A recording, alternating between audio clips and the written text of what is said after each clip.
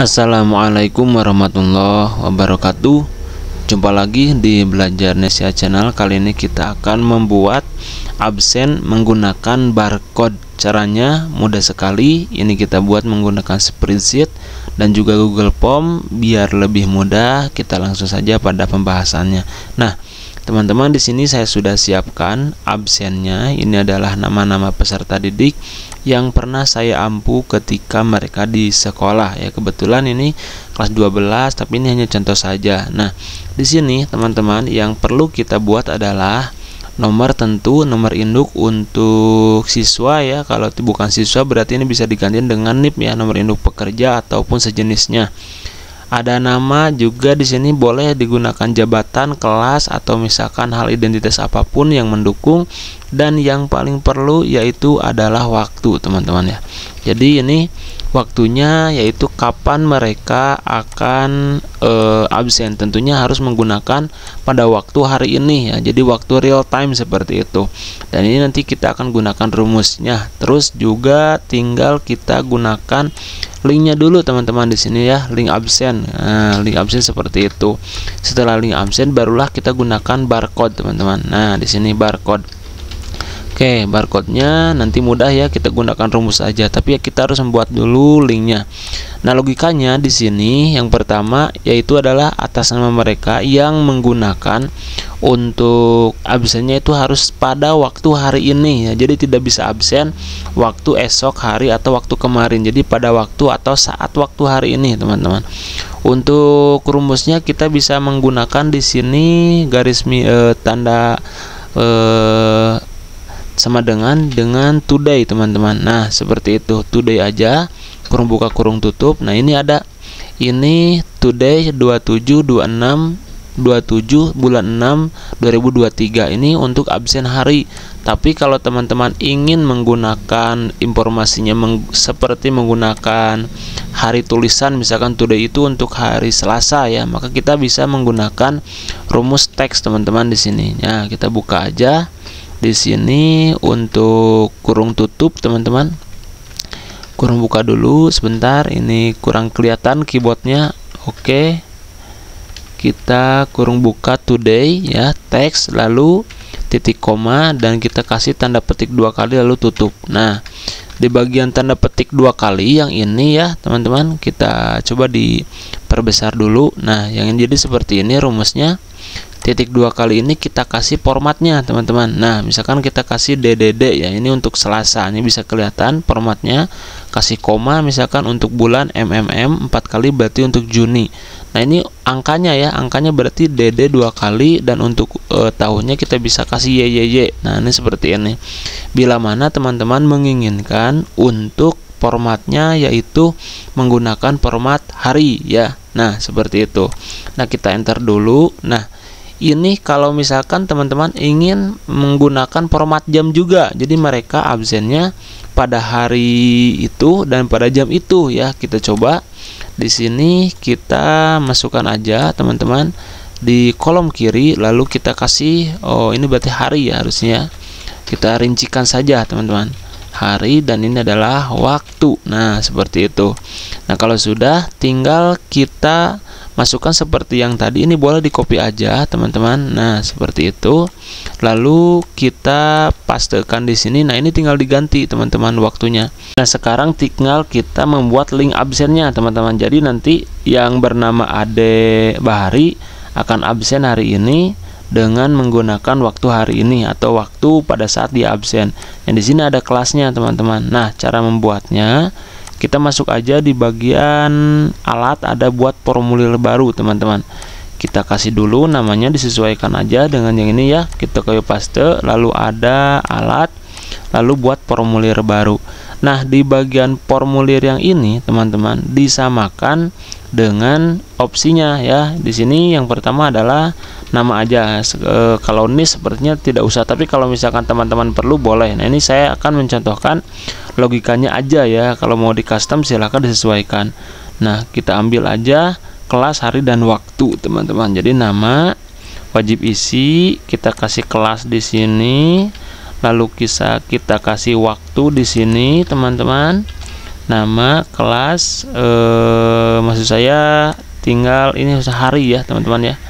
Hari dan waktu. Nah ini ada hari ini ada waktu. Lalu ada absennya ya. Jadi logikanya di sini absennya itu dia hadir ya. Jadi kalau tidak absen artinya tidak hadir teman-teman. Apakah sakit apakah alpa atau apa pun itu jadi mereka absen saja nah kalau misalkan mau masuk dilakukan pada absensinya Nah, teman-teman bisa menggunakan identitas di sini ya. Berarti eh, di sini ada absensinya, teman-teman. Absensi.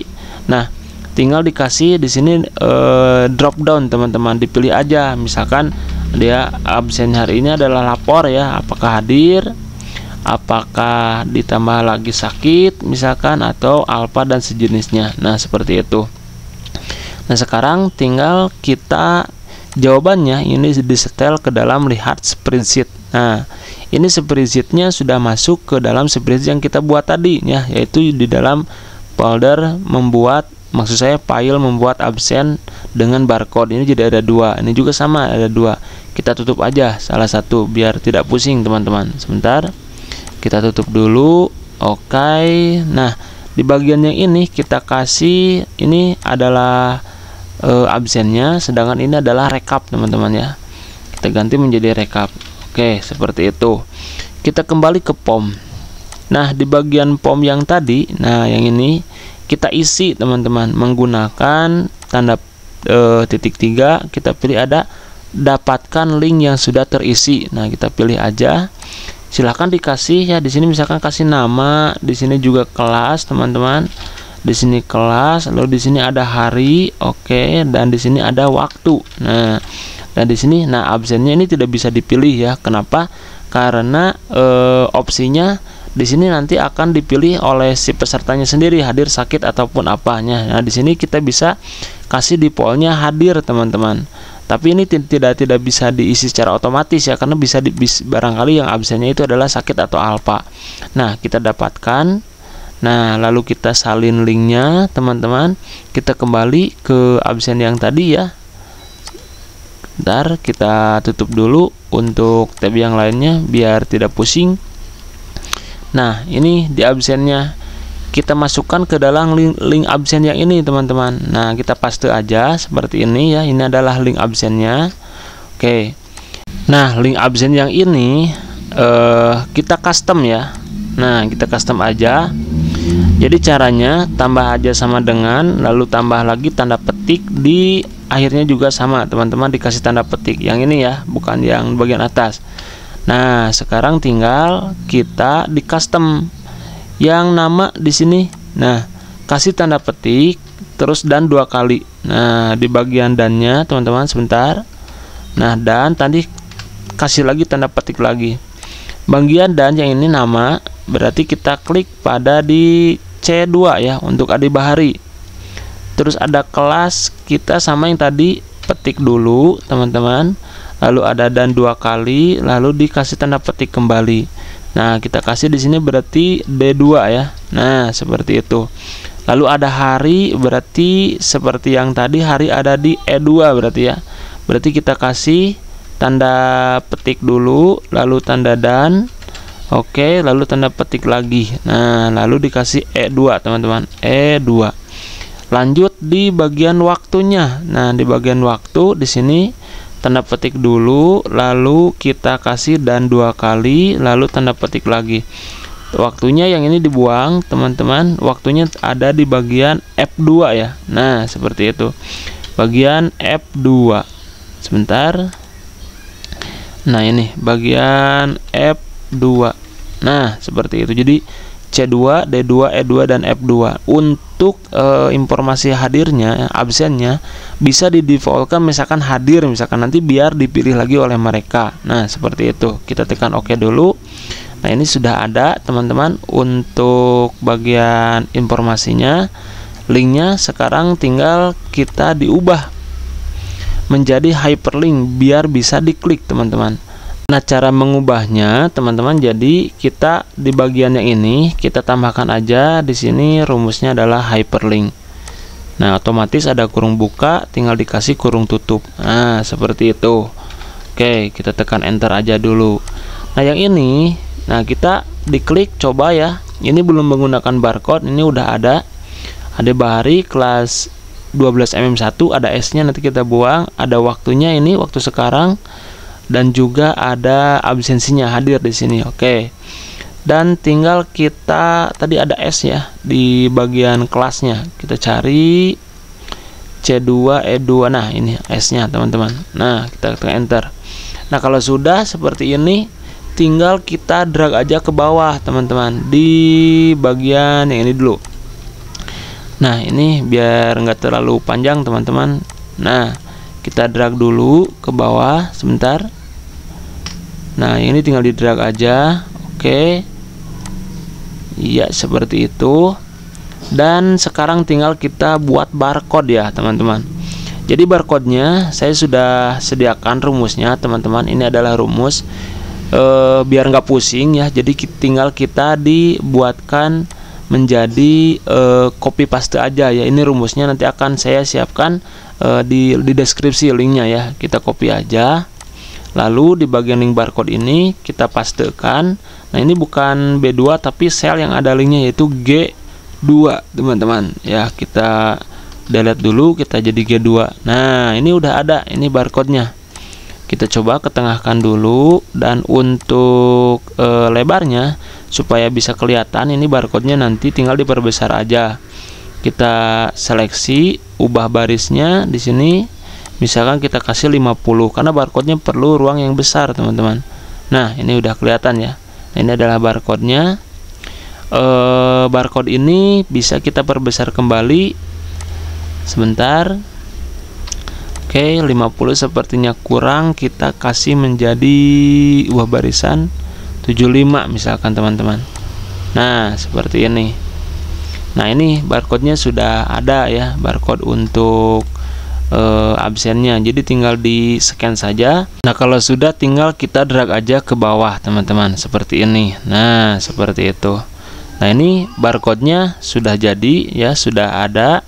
Tinggal teman-teman nanti bisa digunakan untuk absen. Nah cara tesnya kebetulan di sini saya tidak menggunakan handphone untuk mengetesnya tapi kita menggunakan website namanya produk epos ya. Ini adalah website untuk membaca kode batang QR kode. Ini saya sudah coba ya kita contohkan teman-teman. Jadi kita e, download aja di sini untuk filenya dalam bentuk PDF teman-teman nanti. Kalau teman-teman ingin lebih simpel boleh. Ini waktu dan harinya tinggal dihilangkan aja tapi jangan dihapus cuman di hidden aja seperti itu. Ini barcode-nya. Lalu kita download dan kita PDF kan. Tunggu beberapa saat hingga ada filenya seperti ini eh, lebih besar. Kita bisa menggunakan mode potret dengan margin yang sempit teman-teman. Di sini ya. Nah nanti bisa disesuaikan aja.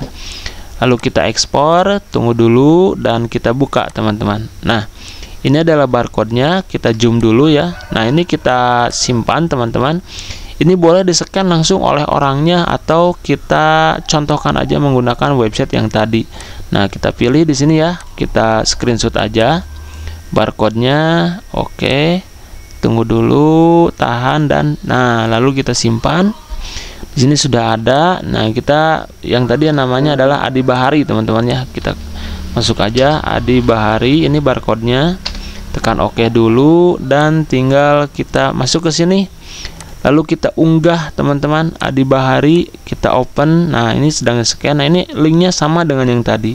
Nah, ini tinggal copy dan kita masukkan ke dalam e, websitenya. Lalu kita pilih. Nah ini seperti itu teman-teman. Ini otomatis sudah ada jamnya juga ada harinya juga ada. Nah ini seperti yang saya sampaikan ini tidak bisa diisi tapi defaultnya adalah hadir teman-teman. Nah dipilih aja.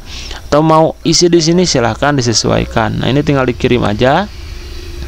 Setelah dikirim tinggal kita lihat di bagian nah di bagian ini kita lihat di bagian rekap. Nah ini Adi Bahari kelas 12 MM1 Selasa waktunya sudah absen dan e, absensinya adalah hadir seperti itu.